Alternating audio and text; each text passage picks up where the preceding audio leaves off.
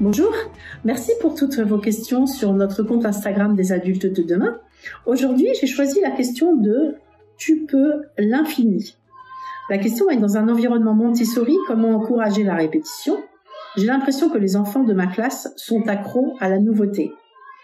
Alors ça, je crois que c'est aussi un cadre qu'il faut déposer, qu'il faut poser dès le départ, c'est-à-dire qu'au début, il faut pas mettre trop d'activités sur les étagères. Ensuite, il faut vraiment toujours les présenter à l'enfant, les mettre dans un certain ordre et les présenter à l'enfant.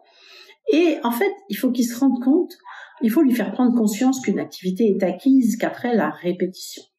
Donc si les enfants euh, ont du mal à répéter, comme vous dites, moi je vous conseillerais de, faire des, ce qu'on appelle des plans de tâches, dont j'ai parlé dans, des, dans, dans deux épisodes de podcast précédents. Donc vous mettez l'activité, vous photographiez l'activité, la photo est ce qu'il y a de mieux pour que l'enfant le repère, et par exemple vous mettez trois, trois ronds autour. Et on pourra considérer que cette activité est acquise par l'enfant quand l'enfant l'aura faite trois fois. C'est l'enfant qui va coller une gommette ou qui va mettre un coup de tampon ou qui va colorier.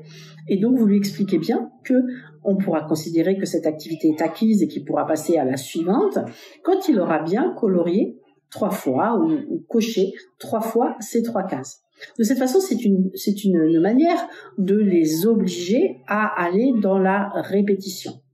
Ensuite, je pense que euh, on peut aussi utiliser des applications type je valide, et là où l'enfant se prend en photo quand l'activité est acquise.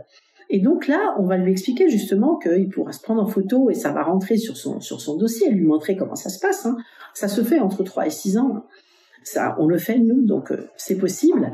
Et que justement, il pourra faire la photo quand vraiment l'activité sera faite parfaitement, qu'il l'aura fini parfaitement. Et là, il va se rendre compte que en fait, du premier coup, c'est très rare d'arriver à faire une activité parfaitement bien. Bah, s'il l'a fait parfaitement bien, pas besoin de répétition, hein, puisque ça veut dire qu'il a acquise, donc il peut passer à une autre.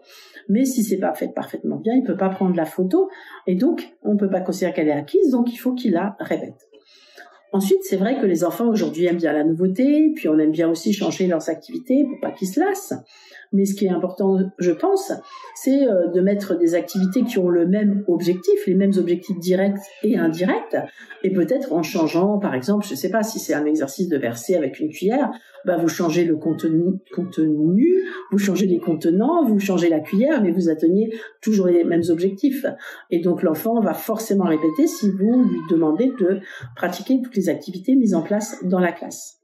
Et ça, je pense que c'est important justement de toujours prévoir dans une classe Montessori euh, des activités qui paraissent être les mêmes, mais qui paraissent aussi différentes pour l'enfant, puisque les objectifs sont les mêmes et les contenants sont, sont, différents, les contenus sont différents, les cuillères, les outils utilisés sont différents. Pareil, les plateaux peuvent être différents. Hein. Moi, je sais qu'en ce moment, on a des plateaux verts. Après, on mettra des plateaux jaunes. Et comme ça, c'est vrai qu'aujourd'hui, l'enfant euh, a besoin de s'enthousiasmer et l'enfant est habitué à, à plus savoir de choses, à plus zapper peut-être que, que dans le temps c'est un fait. Hein, je pense que c'est comme ça. Mais une des manières de, de, de, de, les faire répéter sans forcément qu'ils s'en rendent compte, c'est de varier tout ça et il va faire le même genre d'activité, les mêmes objectifs, mais avec des choses différentes. Sinon, je vous dis, les plans de tâches, c'est vraiment très très bien avec plusieurs ronds, ce qui va obliger l'enfant, s'il veut pouvoir passer à la suite, d'avoir coché trois fois. Et comme ça, vous êtes sûr que l'enfant va répéter.